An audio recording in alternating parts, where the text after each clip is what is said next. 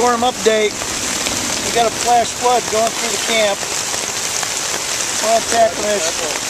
It was uh the storm's supposed to be hitting like Oh, yeah. now. It's gonna be a little slippery. This campsite just went down in value.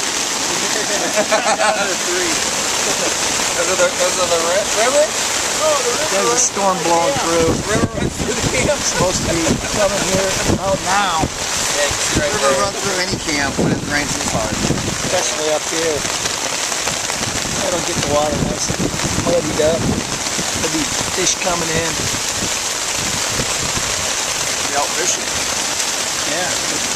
They just be it won't like affect the. Lakers. They're 40 feet down. They Oh, don't care. yeah, like your dad. There's some hot water if it needs. Want me to pour you some? Sean's got it. Watch your hand. You can see the.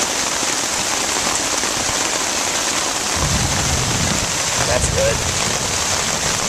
I don't know if you'd be able to hear the thunder with all the rain hitting the tarp. I haven't made storm video in a while. I haven't had it.